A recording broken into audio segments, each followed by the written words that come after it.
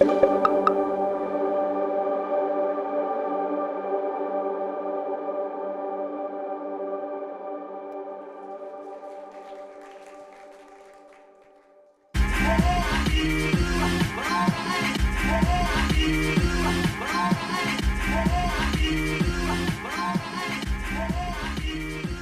voyez Est-ce que quelqu'un a dessiné une pyramide? Bonne pyramide pour Ah, son une main, organisation. deux mains. Euh, Ah, quatre mains. On a, on a plus de huit mains. Vous voyez Parce qu'en fait, on peut peut-être se l'avouer, toutes les organisations sont quand même encore pyramidales quelque part. Et ça va pas forcément être le sujet du jour, mais Oui. on- il fallait quand même qu'on en parle. Oui, il fallait qu'on en parle parce que nous, on n'a pas non plus envie de parler d'organisation libérée, libérante. Euh, On se dit que le sujet du jour, c'est de partir avec ce qu'on a, ce qu'on est. Et on est plutôt dans des organisations pyramidales, on ne va pas se, mentir. En revanche, cette pyramide, elle a une particularité, elle est transparente. Elle est dynamique, elle est en transformation. Et, et- et c'était rendre un petit hommage à Daft Punk, qui a en 2010 à Bercy complètement transcendé une pyramide. Euh, et c'était euh, l'arrivée de la house aux États-Unis. Enfin, c'était les Français qui ont littéralement euh, transformé la musique aux États-Unis. Et sans transition, on va donc essayer de, décortiquer ce que c'est qu'une organisation. Euh, rapidement, une organisation, c'est une somme d'individualités euh, qui expérimentent des environnements. Alors, Caroline et moi, on déjà, on ne s'est pas présenté, donc moi, j'ai la particularité d'avoir un background de designer et je suis littéralement un entrepreneur. Caroline Alors moi, je suis entrepreneur seulement depuis 5 ans et j'ai baigné dans la culture euh, digitale et depuis 5 ans, je- j'essaie de transmettre du coup cette culture dans laquelle euh, j'ai évolué euh, sans m'en rendre compte. Et donc, comme toute organisation, nous sommes dans notre activité en transformation. Et, et pour faire une bonne transformation, il faut aussi se connaître soi-même. Donc, on a fait un exercice avec Assess First, qui est un outil de, comme Gallup, comme d'autres, qui permet de mesurer ses motivations, ses talents, dans, quel en- environnement on a envie de travailler. Et on a comparé ça et on va vous les montrer. Donc, voici, euh, là j'en ai 18 euh, talents. Et, et étonnamment, euh, ils sont très très similaires. On n'a que 5 ou 6 talents différents entre Caroline et moi-même. Donc du coup, on n'était pas du tout complémentaires. Donc on s'est dit que je sais pas si c'était le meilleur duo. Mais on était dans super cohérence et cohésion et on, a- on travaillait très bien et on, on était effectivement peut-être un peu trop souple l'un pour l'autre. Euh, mais c'est effectivement ce qu'on cherchait. On cherchait un environnement fun, flexible, euh, souple. Et donc voilà, ça aura naturellement une, une influence sur votre environnement, sur votre journée en tant qu'animateur. Euh, alors, on va faire un petit exercice. Une organisation, c'est une usine à... Et là, je vous invite à, à dire fort si vous avez une, une- une idée de, de en quoi ça pourrait être une usine. Le premier mot qui vous vient à l'esprit Qu'est-ce qui a été dit Gaz. On fait en, Une rép- usine à gaz, en- quoi en répétition, on a eu le même retour hier, c'était drôle. Rêver. Rêve. Alors là, on y est. Hein? Talent. Oui, on est sur euh, proche de. On a tous des talents de réflexion. Quoi d'autre? Bonheur, celui-là je l'ai pas, mais on va, on- on va y venir. Innover. Alors, est-ce que être dans l'action, c'est innover, sans doute Produire. Là, on est bien dans la Alors là, on est bien dans l'action. ouais. Alors, Daniel Kahneman, c'est un, auteur qui a, théorisé un peu sur euh, un facteur principal. Donc lui, il parlait d'usine à décision.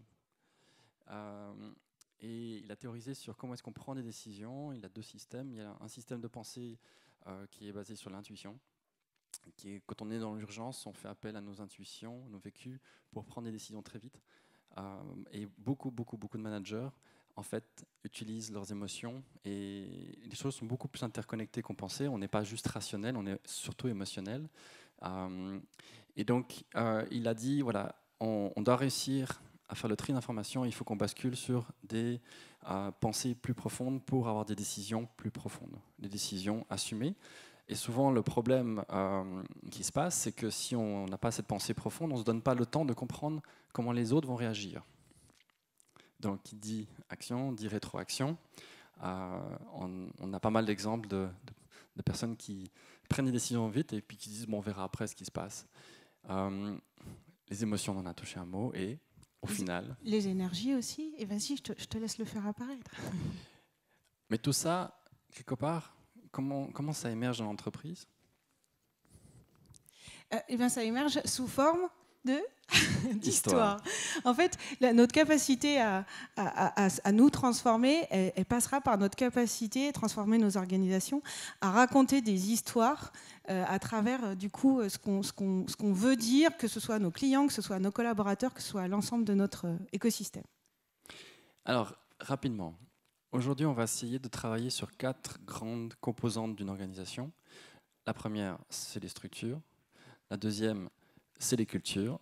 La troisième, c'est le leadership. Et la quatrième, c'est les pratiques et processus. Et avec ça, on a euh, une bonne grille de lecture d'une organisation. Mais pour pouvoir comprendre ça, on utilise tous quelque chose qu'on a en commun, mais aussi différent. Donc, du coup, c'est le langage, en fait. Et c'est des référents, en fait, euh, conversationnels qu'on va essayer de créer euh, autour. Donc, nous, on a choisi quatre dimensions euh, qu'on va juste découvrir après, que vous connaissez, puisqu'elles sont bien inscrites dans le programme. Et c'est le langage qu'on va mettre autour de ces quatre principales notions qu'on a choisi de traiter aujourd'hui, que sont, du coup, l'agilité, une organisation agile, une organisation apprenante, quantifiée et responsable. Et quand vous voyez cette matrice, l'avantage c'est que vous pouvez réfléchir à n'importe quelle dynamique et vous dire ok ben euh, quand on parle d'agilité on associe ça souvent à pratique et processus mais pas assez à culture ou structure. Et on a pas mal de, RH dans, dans, la salle et, naturellement ben, eux sont amenés à apporter un peu d'agilité dans la façon dont les gens se déplacent dans l'entreprise peuvent euh, changer de poste euh, intégrer des nouvelles personnes. Alors Apprenante, ça c'est la partie RH, quantifiée c'est la partie data. Responsable, euh, quand on entend ce mot, on pense souvent à la responsabilité socio-environnementale d'une organisation, on se dit c'est la responsabilité externe. Mais euh, ce n'est pas forcément ça, c'est aussi la responsabilité interne, notamment la santé des, employés. Euh, donc ça c'est un sujet qui, est interconnecté avec comment les gens se comportent en termes de leadership, en termes de culture.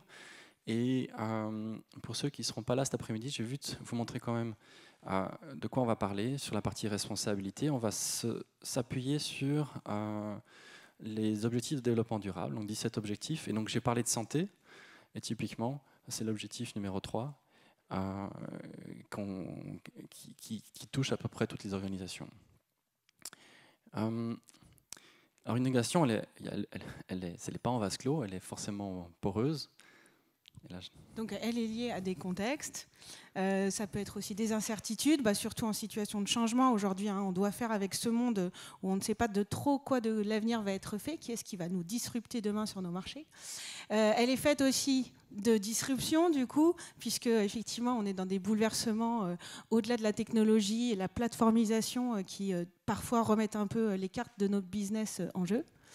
et puis l'organisation, elle est liée aussi à, euh, du coup, globalement, euh, le, fait de poser quelque part des nouveaux euh, paradigmes. donc, du coup, à ce titre, on va l'illustrer à travers deux exemples qui nous ont marqué ces dernières semaines, ces derniers mois. vous avez forcément entendu parler peut-être de Google Duplex, un des, nouveaux services, une des nouvelles expérimentations présentées par Google, à travers ses assistants vocaux. donc là, je, je, vous laisse regarder la démonstration, vous l'avez peut-être pas vue. Donc demain, on on pourra prendre un rendez-vous chez le coiffeur, mais en fait, c'est pas vous qui le prendrez. So how can I help you? Hi, I'm calling to book a women's haircut for a client. Um, I'm looking for something on May 3rd. Sure, give me one second. Mm-hmm. Donc, celui de gauche, c'est un robot qui ne s'est pas déclaré en tant que tel. Exactement. Donc la question que ça a posé, hein, le début de la polémique autour de ça, c'est de se dire mais est-ce que je saurais euh, si c'est un robot qui est en train de, m'appeler? Donc euh, on se dit peut-être que je sais pas le prochain Big Bang euh, du monde, ça sera un Big Spam, hein, parce que si en plus, alors pour l'instant Google dit qu'ils vont le développer que pour les professionnels, donc on ne pourra pas appeler sa mère via un robot, c'est ce qu'ils ont dit. c'est ce qu'ils ont dit. Je répète le communiqué de presse, mais voilà, ça pose quand même pas mal de questions et le deuxième exemple, là encore, euh, on ne sait pas trop où ça peut nous mener. Alors, autant le premier exemple, c'est une évidence, on se dit, bon, ben voilà, un, quelqu'un, enfin, un robot appelle quelqu'un, on, voit des potentiels usages. Autant sur la télépathie, on n'en a aucune idée. Pourquoi? Parce que là, c'est vraiment sur quelque chose. Enfin, ça nous dépasse, on devient un être augmenté, tout à coup, il y a un device qui est capable de nous entendre. Alors, le champ du possible est, énorme et en même temps, ça a des externalités, ça a généré des situations complètement absurdes. Donc la transformation digitale, c'est aussi intégrer des nouveaux paradigmes communicationnels, informationnels. Euh, par exemple, la télépathie peut servir par exemple pour quelqu'un qui est dans le coma, où on pense que la personne est dans le coma et en fait on n'arrive peut-être plus à s'exprimer. Il, y, a plein d'usages qui peuvent faire potentiellement du sens euh, et qui dépassent évidemment... Euh, l'individu et qui touche le collectif. Et qui touche du coup les relations. Et comme on le sait, hein, quelle que soit l'organisation qu'on a, l'organisation elle va surtout passer par les relations. Donc euh, là, on se dit que les nouvelles technologies euh, vont pouvoir aussi euh, bouleverser tout ce pan-là. Et qui dit bouleversement dit erreur. Donc il y a des facteurs humains, donc pas seulement des facteurs technologiques, c'est qu'il y a aussi des facteurs humains ou des gens qui vont glisser des erreurs par, pour, pour, tester. Et tout ça, ça se baigne par rapport à des opportunités. On a, parti, on a parlé d'opportunités à durée. À durée limitée, le fameux time to market. On peut avoir une très bonne idée, elle n'est pas lancée un, un bon moment, elle est lancée en général peut-être potentiellement mhm. trop en avance. On l'a vu hein, dans l'histoire du digital, il y a des services qui marchent aujourd'hui, euh, qui, euh, quand ils ont essayé de sortir en 2000, ça ne fonctionnait pas. Donc le time to market aujourd'hui, c'est sûr que c'est une donnée euh, cruciale. Et elle est liée à des contraintes. Donc quand vous êtes designer, vous faites avec des contraintes. Et c'est des contraintes que peuvent naître des fois les, bonnes, les, bons miracles ou les bonnes, la magie. Elle est liée à des valeurs, donc des valeurs collectives et individuelles, des convictions. Euh, pour certains, ils pensent qu'ils ont cette assurance, alors qu'en fait, ils sont dans les croyances, ils sont biaisés par leur culture, biaisés par leur passé, les vécus. Euh, et c'est toutes ces choses-là qui rendent la vie d'une organisation si riche c'est riche en... Et si intéressante parce qu'en même temps, c'est euh, le, collectif et l'individuel. Et tout ça, ça nous crée évidemment dans nos organisations des expériences. Alors on sait que dans un contexte de changement, forcément, il y a des situations de friction, des, des situations de tension. Euh, mais c'est ce qui crée aujourd'hui euh, le climat actuel, le climat d'ambiance actuel dans lequel on est, à la fois l'ébullition et la tension. Alors j'ai parlé de conviction et, et de croyance et d'expérience c'est clair que 100 ans plus tard, vous ne pouvez pas expérimenter 100 ans, mais il y a des faits qui sont réels. Euh, maintenant, scientifiquement, c'est prouvé, on est dans un changement climatique. Euh, tout ça, ça, a un impact sur euh, les organisations, notamment au, Danemark, où ils sont en train de se mobiliser pour, voir, pour éviter la montée des eaux. on a 20 ans devant nous pour changer le tir et on est sous pression. Les organisations vont être du coup sous pression aussi régulatoire. ça va être aussi le sujet de l'après-midi. et donc, voilà, vous avez cette conférence, elle est, composée de, différents regards, dont euh, le mien et celui de Caroline. On va vite vous parler rapidement de notre propre petit background personnel, et après on aura l'occasion de découvrir celui de 24 autres speakers qui passeront rapidement comme nous euh, sur différents sujets. Euh, là, je vous montre un modèle qui existe depuis, depuis 20 ans, qui est un modèle de, de conception centré humain. Et c'est comme un, business model Canva, mais très très simple. Ça, c'est, euh, fait par l'équipe d'IDEO, euh, Tim Brown, euh, qui utilise vraiment ça pour faire des workshops avec des post-it. Et il part du principe qu'il faut commencer par la désirabilité de quelque chose. Donc quand on pense à la robotique, est-ce qu'elle est désirable? Un LIA, est-ce qu'elle est désirable? Ça, ça, c'est une bonne question. Est-ce qu'elle est viable? Est-ce que c'est faisable? Donc ça, c'est trois, trois petites trois petits mots tout simples. Simplement qu'il manque quelque chose aussi, et j'ai voulu euh, donc rajouter quelque chose. C'est le cadre éthique euh, qui est à la fois individuel, organisationnel et sociétal. Et donc c'est un petit modèle. J'ai écrit un gros article de 11 pages sur Medium si vous voulez le lire. Et voilà pour ma, part personnelle, ma petite passion. Euh, moi, ma passion, c'est que finalement, l'envie de changer, elle passe avant tout par l'envie de se changer. Et j'ai été marquée, en fait, depuis cinq ans, à faire des formations, à transférer euh, quelque part, sans me rendre compte, la culture dans laquelle moi j'avais baigné, euh, qu'il y, a des peurs que j'avais pas imaginées, parce que moi, j'avais été mise dans la piscine et voilà, bah, j'avais nagé.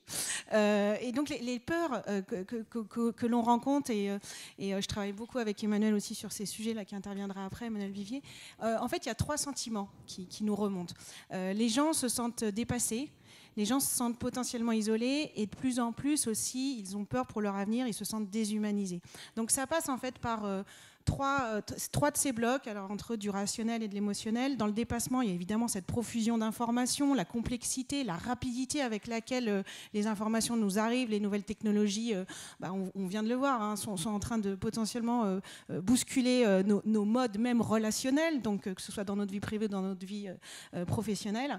L'isolement, cette forme de, dématérialisation, l'addiction, la, solitude, lesquelles, sur lesquelles on peut aussi avoir quelques peurs, et puis la déshumanisation, l'automatisation des tâches, est-ce que mon métier va encore exister, comment il va évoluer, comment je dois me remettre en cause? Et finalement, sous ces trois sujets, il euh, y, y en a un qui revient tout le temps, c'est L'enjeu finalement de base, c'est que finalement les hard skills, nos expertises, notre savoir, notre savoir-faire, tout ce qu'on a appris depuis qu'on est là, est un peu en train d'être moins euh, entre guillemets tendance. Il y a une forme d'obsolescence à la fois du savoir et du savoir-faire, la façon dont on opère nos, métiers.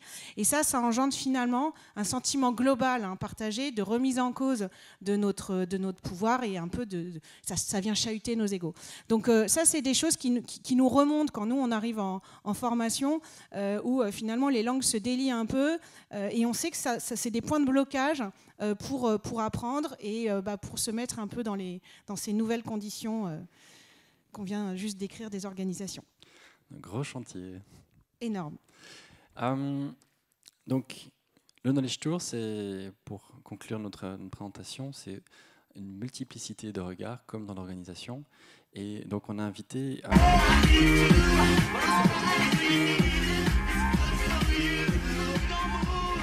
24 personnes qui viennent de backgrounds vraiment différents, euh, mais qui ont tous cette même énergie, euh, ce même engagement. Et donc, euh, merci Caroline, moi je, je, vais rester sur scène. je te laisse. On, passe à, on, passe à, la présentation suivante. À tout à l'heure. À tout à l'heure.